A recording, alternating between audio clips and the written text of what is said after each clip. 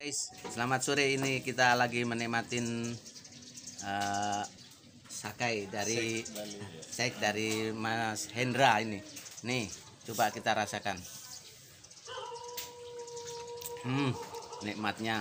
Guys, nah, nah ini bagi yang mau eh, menikmatin sek kayak ini, nih silakan merapat di kedainya Bang Hendra ya. Eh, Jangan lupa kalau kunjungan ke Bali silakan menikmatin eh, sakai sek Bali. Bali. Ini ya.